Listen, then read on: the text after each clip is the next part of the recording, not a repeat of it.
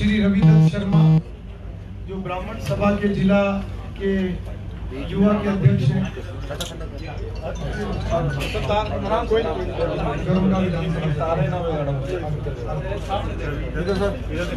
श्री जयपाल गुज्जर करनाल विधानसभा कांग्रेस के महासचिव हैं भाई थोड़ा भाई साथ में साथ आगे आगे आ जाओ जाओ फ़ोटो हो जाए आगे आओ यार धन्यवाद। क्या राजेश जी? चलो। हम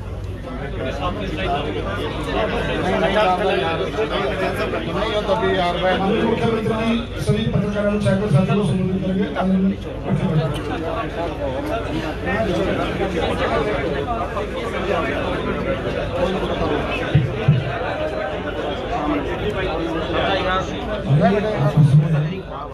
करेंगे ध्यान रखो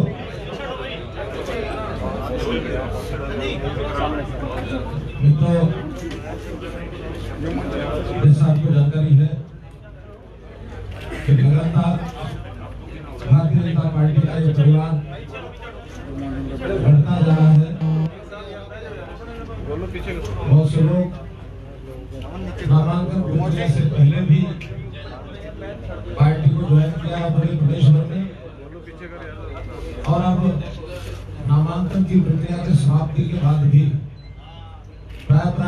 विधानसभा क्षेत्र में दूसरी पार्टियों को छोड़ करके भारतीय जनता पार्टी में जो अच्छे लोग आ रहे हैं, हम उनका सबका स्वागत करते हैं।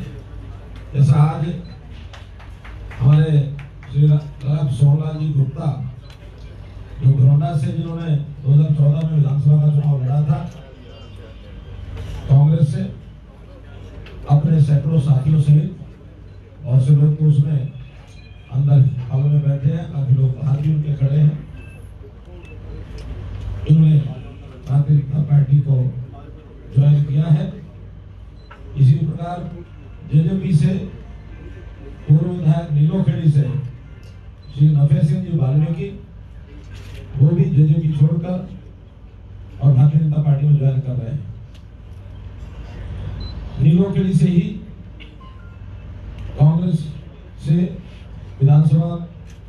लड़े चुनाव श्री राजेंद्र अंजन थली इन्होंने भी पार्टी को ज्वाइन किया श्री रविंद्र जी शर्मा, जो सभा करनाल के हमारे युवा अध्यक्ष हैं और अभी तक कांग्रेस से संबंध रखते थे. कांग्रेस छोड़ करके और भारतीय जनता पार्टी ज्वाइन कर रहे हैं। इसी प्रकार नगर पालिका धरौंडा के एक्स चेयरमैन श्री अजय सिंह ने भी आज भारतीय जनता पार्टी ज्वाइन की है।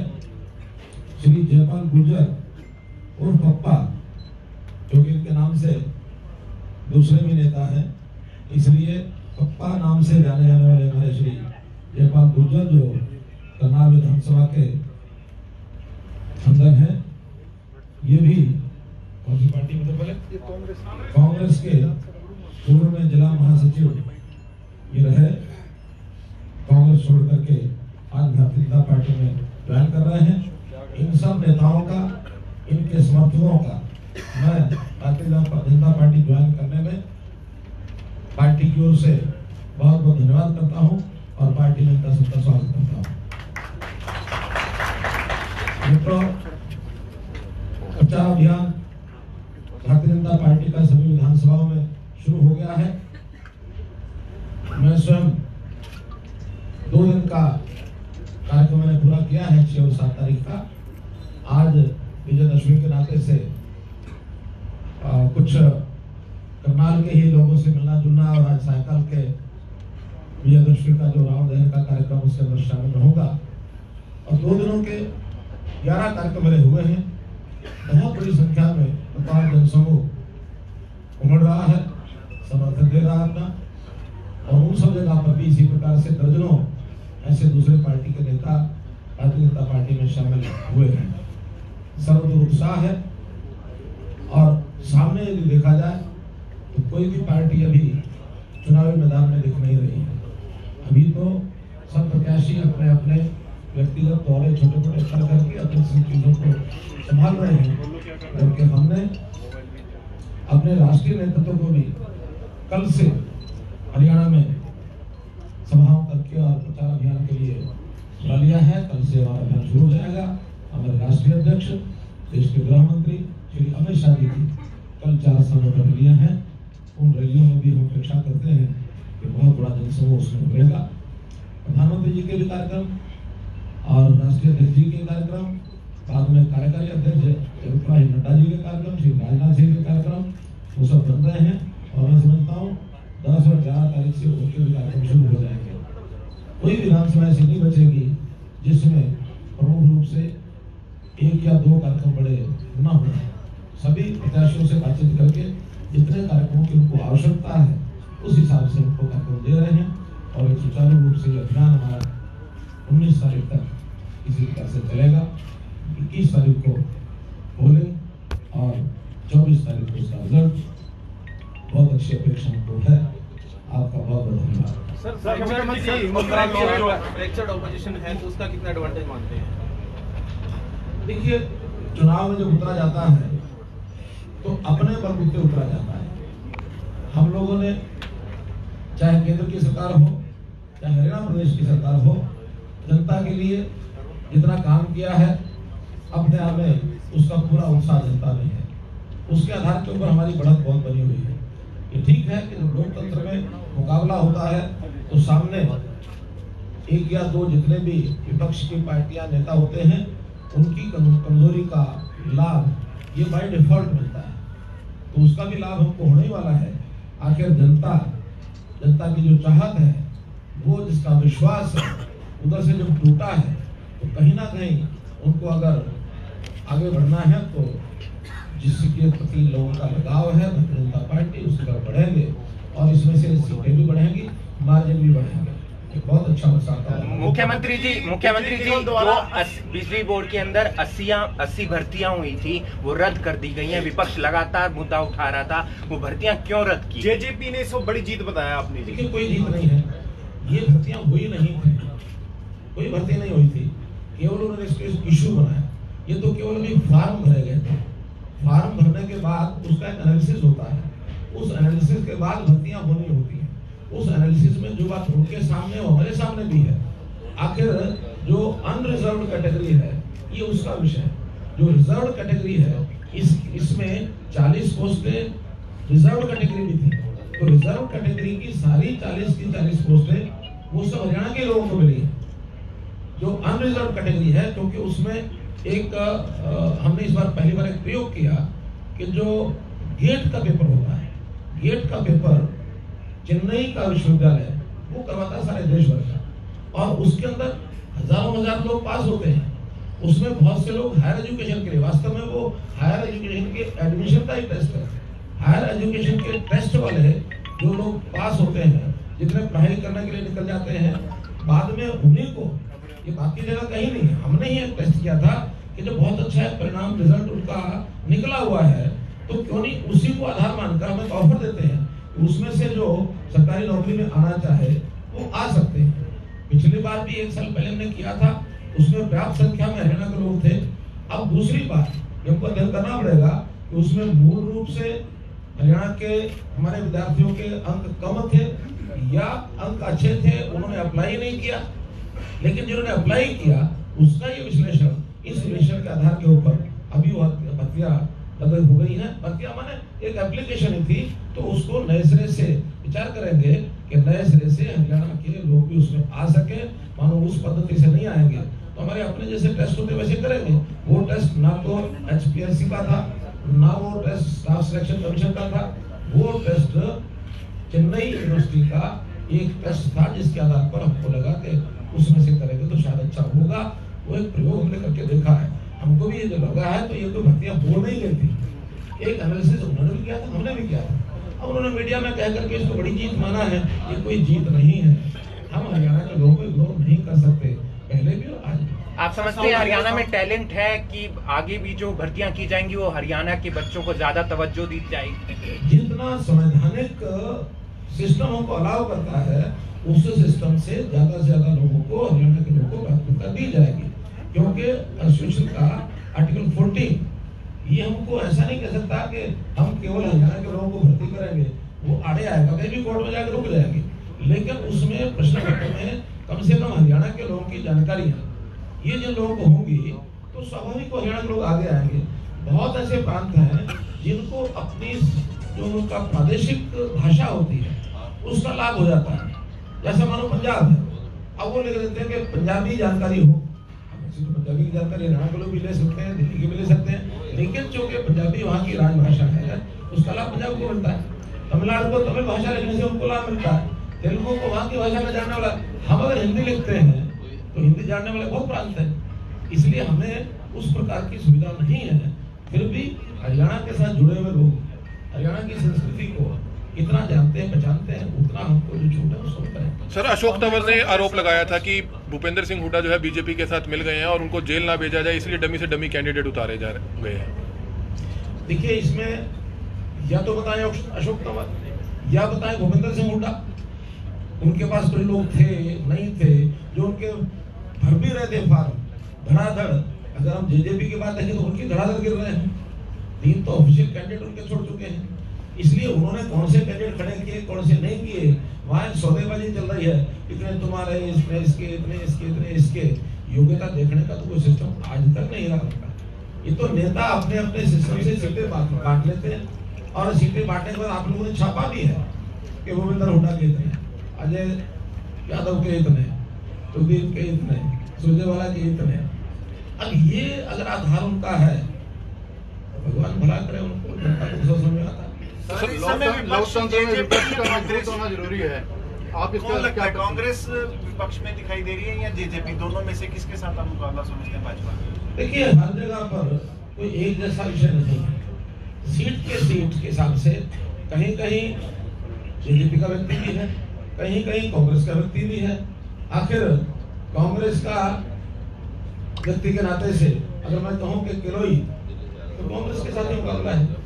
अगर हम कहें उचाना तो जेजेपी के साथ ही है। अगर हम एलनाबाद कहें तो इनरो के साथ ही है। करनाल में किसके साथ है? आप जानो। इनेलो ने टिकट ही नहीं दिया। है। हमने अपनी ओर से 75 का जो लक्ष्य लिया था हमारे जो सब समर्थक लोग हैं उन्होंने कहा कि नहीं ज़्यादा आएँगे। तो हमने कहा इसमें प्लस लगा दो।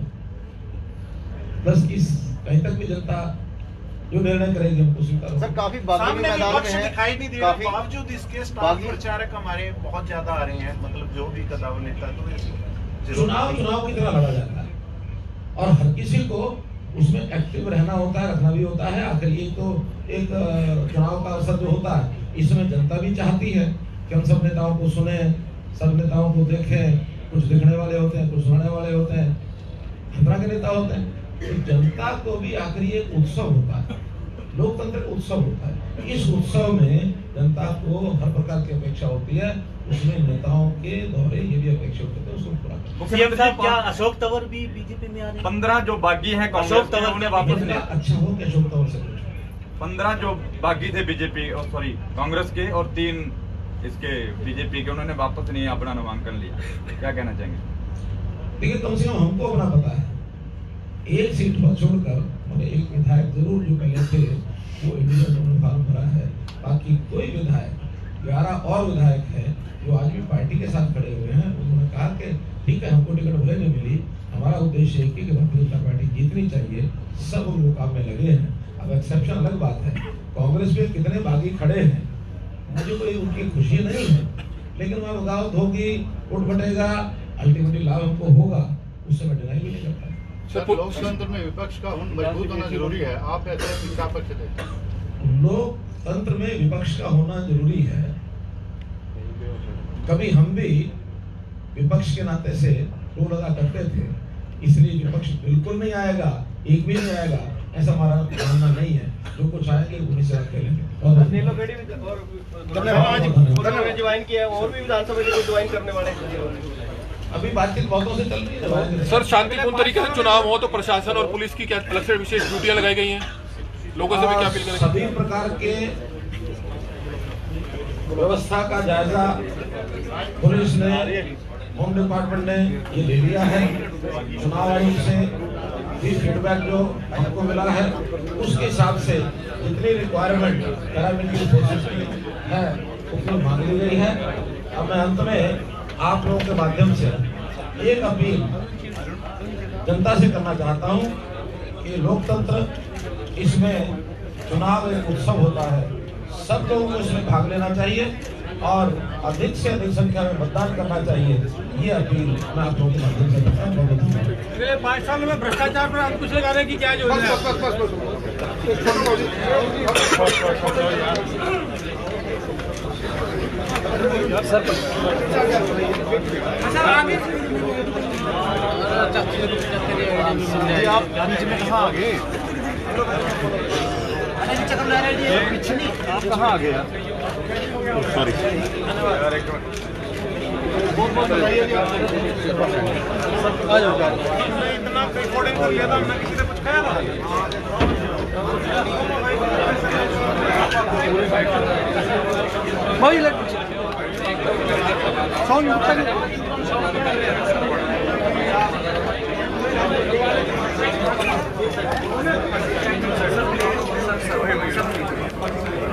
मुख्यमंत्री हरियाणा मनोहर लाल खट्टर ने एक प्रेस कॉन्फ्रेंस की है और हम आपको बताना चाहेंगे कि करनाल के कई ऐसे नेता हैं जिन्होंने आज भाजपा पार्टी ज्वाइन की है। गरोंडा से लाला सोहनलाल गुप्ता हमारे साथ मौजूद है, जिन्होंने आज बीजेपी पार्टी ज्वाइन की है। उनसे जानना चाहेंगे, सर, क्या कुछ बताना चाहेंगे? भारतीय जनता पार्टी में आप शामिल हुए हैं, क्या कहना चाहेंगे? पिछले चालीस साल से कांग्रेस में था।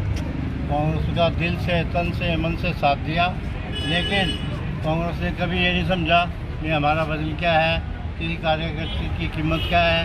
तो आज मुख्यमंत्री जी की बातों को देखते हुए, ईमानदारी को देखते हुए, कार्यशैली को देखते हुए, और हरियाणा में जो पाँच साल में जिस प्रकार इन मुख्यमंत्री जी ने जो काम किया और जो लोगों की सेवा की निष्पक्ष भावना से, उनकी बातों को देखते हुए मोदी जी के जो देश के लिए उन्होंने काम किया उनसे प्रभावित होकर आज मैं कांग्रेस पार्टी छोड़कर और बीजेपी ज्वाइन कर रहा हूँ ताकि आने वाला समय बड़ा सुनहरा समय है।